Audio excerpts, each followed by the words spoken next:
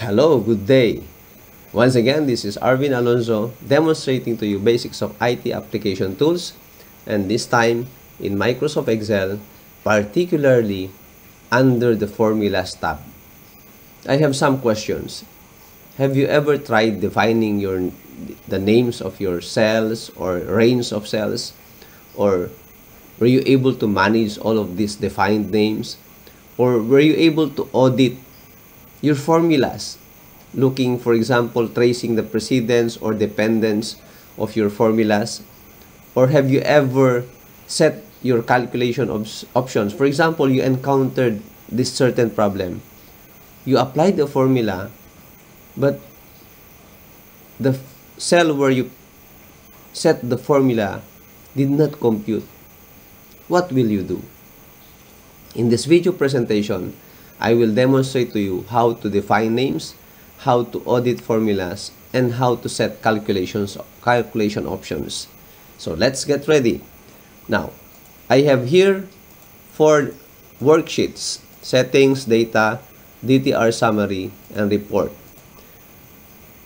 Uh, in my setup, for example, I formatted like this. It appears like it's an information system where uh, the areas where you can place your data values are appearing like a text box. Okay? So, how do we do that? It's simple. You just need to format the fill color.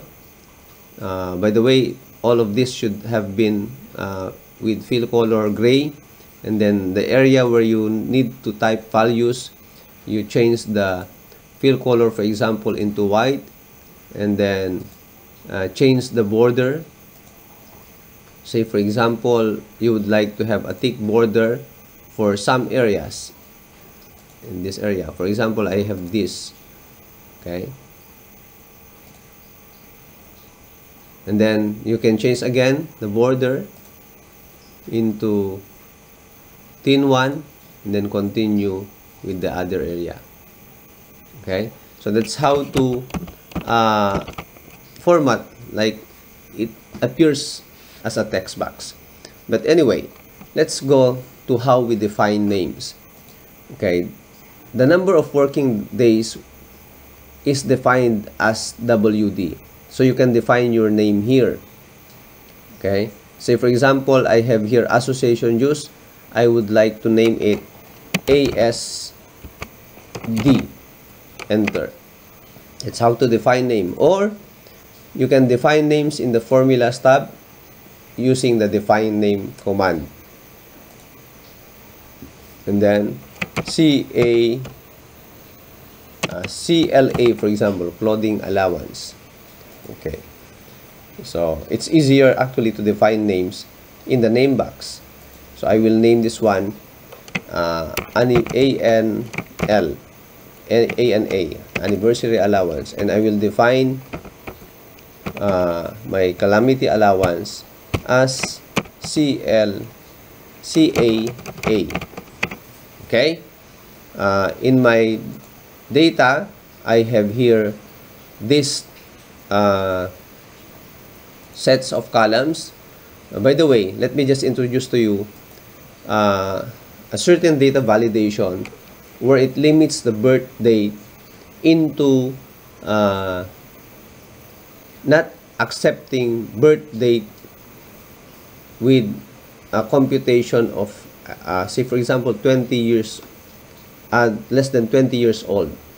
Because uh, some some of course in any organization normally they don't employ uh, or hire uh, employees who are not yet graduate or who are still in their college days for example and normally 20 years old some actually are not yet graduate of college degree so in this area my data validation actually runs like this so I used custom and I placed a formula equals year frac H4. What is H4?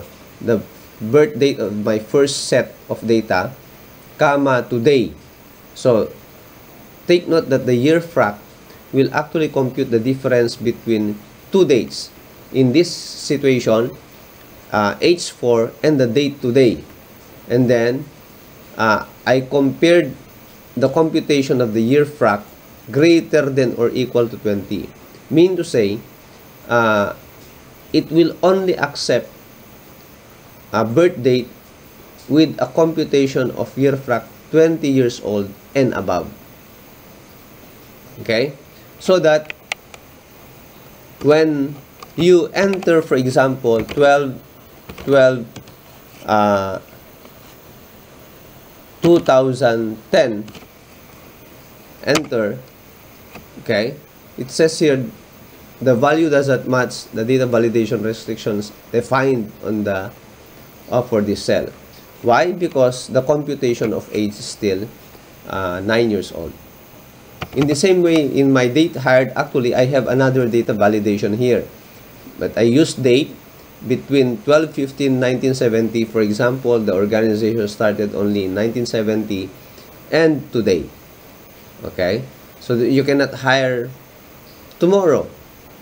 Okay, you cannot hire an employee before uh, the organiza organization existed. So that's why I had this one. So this is my computation actually for my uh, age using the year frac again but I included int function so that it will only show the numeric value because if there's no int function here only year frac then it will have the uh, decimal values. So you notice I only change here but automatically all the other values change. Why? Because this is a table. Now, say for example, I have here my rate of data. In my DTR summary, I just have the number of days work and number of minutes late, for example, so that when I will compute for the tardiness and absences deduction, then I'll just get it here. Under my report, for example, I have here uh, these columns. Now, going back, in my data, I have my rate per day. Okay. And in my uh, settings, I have the number of working days named as WD. In my data, uh, if you try to look at it, I have a rate here. Rate is all about this column. Don't worry. Whenever you add a new row, a new data set, a new employee, automatically this next cell would be part of the rate. Okay?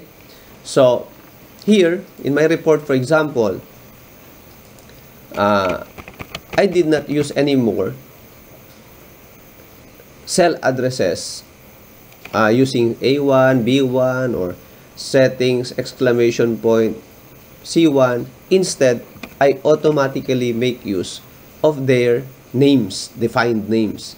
And that is easier, for example. So, because you don't need to look, oh, what's the cell address? I, I forgot the cell address. So, again, you review.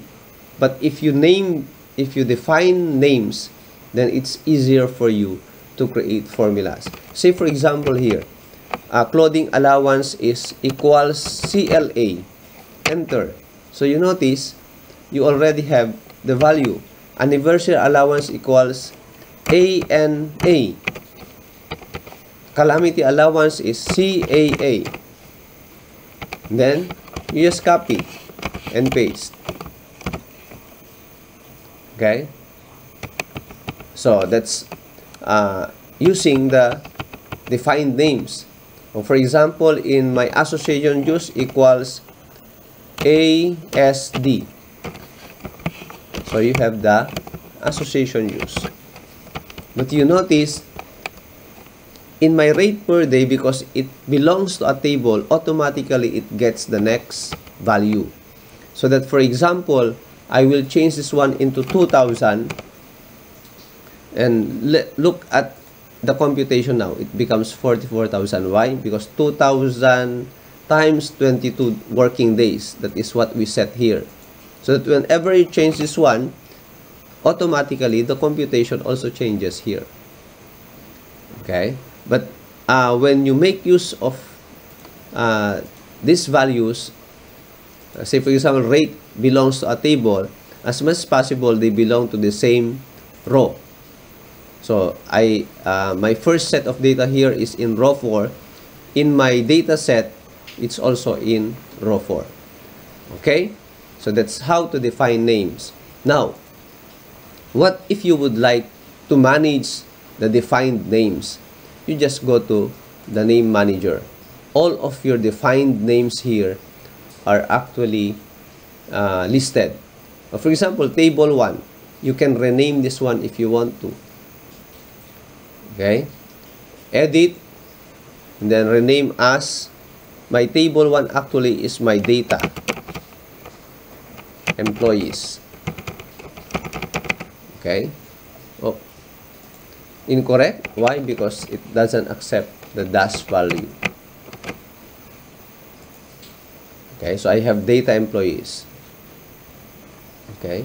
So you can rename also all of this if you want to now if you want to delete certain names then you just click the delete uh, button. Select the name cell or range of cell then delete. Okay let's close this one. That's how to manage your defined names. Let's go to the formula auditing. In accounting uh, it is very important to audit values. Okay that's why you have in in the government sector we have the commission on audit in excel we also have auditing of formulas so actually we have IT audit. Okay. So here, uh, say for example, I have this formula.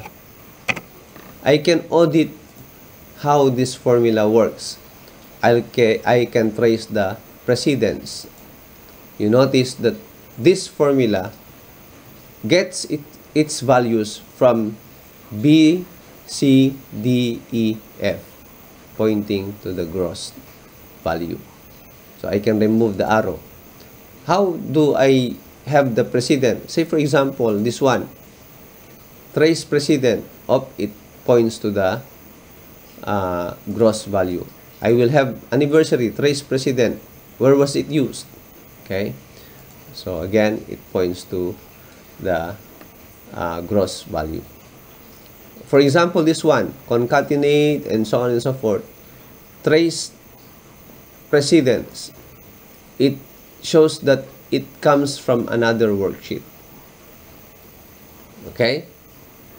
So, that, that is actually coming from CDE using the concatenate function. I will remove the arrows. Okay? You can also show the formulas that you applied in the entire worksheet. When I click show formula, you notice that all formulas will appear. So that's easier to check your formulas. Then you just uh, uh, click this one if you want to go back to the normal values. Okay, you can also check some errors if you want to. Actually, there are no errors in this area.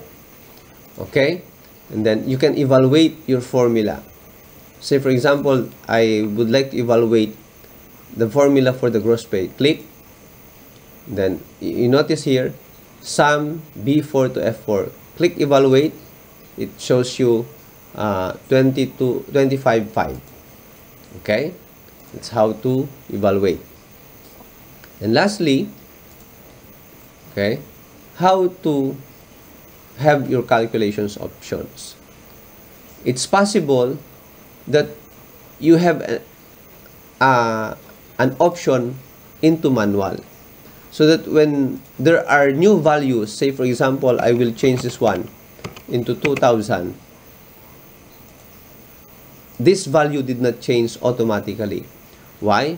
Because the calculation options is set to manual. So if you encounter this problem that uh, the value did not change when the, the source the origin of uh, the data value for the computation was changed, uh, better check your calculation options. Now, in that case, you can click the calculate now. Okay, or calculate sheet for the entire worksheet. So, we are normally setting the calculation options into automatic. So take note of all these things. You can define your names. It's easier to create formulas when you have defined your names. You can audit your formulas, trace the precedents or even the dependents. You can show the formulas in your entire worksheet if you would like to review the formulas that you applied. Again, say for example here, I made use of concatenate, I made use of W uh, times rate equals CLA equals ANA and so on and so forth. Okay, so that's showing formulas. Of course, it's very important to check your calculation options. It's automatic, automatic except for data tables. Okay, say for example, the data, data tables means like in, in this area. So even if you change the birthday, for example, the date hard, it is not automatic when it is set to automatic except for data tables. And it, when it's set to uh, manual, norm normally all the values where the formulas are will not automatically change even if you change the source or the data where it gets the computation. So I hope you learned something new in this video presentation and thank you I hope you're going to apply all of these learnings. God bless everyone.